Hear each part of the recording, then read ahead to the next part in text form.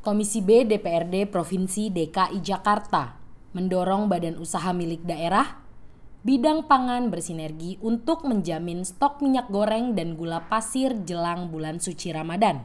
Ketua Komisi B DPRD DKI Jakarta, Ismail di Gedung DPRD DKI Jakarta, Rabu 23 Maret 2022 mengatakan, selain jaminan ketersediaan barang, PT Cipinang Food Station, Perumda Pasar Jaya, dan Perumda Dharma Jaya juga harus menjamin kemudahan akses untuk warga mendapatkan kebutuhan pokok tersebut. Sejumlah terobosan menurut Ismail dapat dilakukan tiga BUMD bidang pangan, seperti menambah jumlah pasar murah, menggelar bazar pangan murah, hingga mengintensifkan penjualan produk secara online. Ya, kita ingin memastikan bahwa stok yang aman tersebut uh, mudah diakses ya, oleh masyarakat sehingga tidak uh, mengganggu uh, namanya uh, aktivitas mereka dalam menjalani ibadah Ramadan hanya untuk mendapatkan uh, akses pangan tersebut. Saya pikir ini uh, cukup apa uh, bijak ya sehingga masyarakat tidak perlu uh, panik ya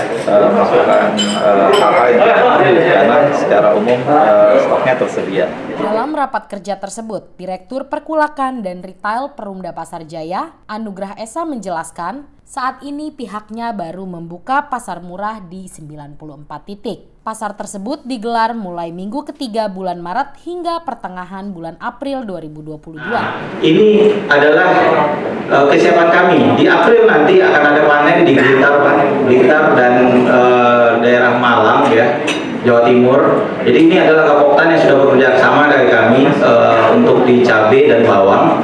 Uh, dan ini adalah kesiapan dari kami dari mereka stok sebenarnya di April itu kalau sudah mulai panen ini akan siap ya untuk membantu ketahanan pangan terutama mengenai hari uh, eh, HBKN ini.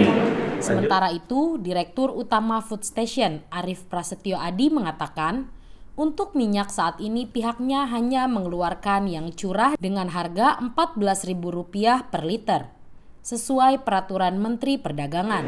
Kegiatan pasar murah di kelurahan. Kegiatan pasar murah di kelurahan beberapa waktu yang lalu kami melakukan pasar murah di kelurahan dan eh, animonya sangat besar sekali terutama untuk produk-produk minyak goreng. Namun demikian sejak terbitnya Permendak eh, beberapa waktu yang lalu di hari Jumat diminta untuk semua kepala dinas untuk menghentikan operasi pasar maka uh, food station dalam hal ini mengikuti aturan yang ada di Permendak sehingga kami tidak melakukan pasar murah untuk produk minyak goreng. Namun jadwal pasar murah tetap ya lanjut tetap berjalan sesuai dengan schedule. Per hari ini pasar murah di daerah Kelurahan Pondokopi, kemarin Kelurahan Lubang Buaya, dan besok adalah di Kelurahan Cemang Kelurahan Cempedak, ya Jakarta Timur. Sekretariat DPRD DKI melaporkan.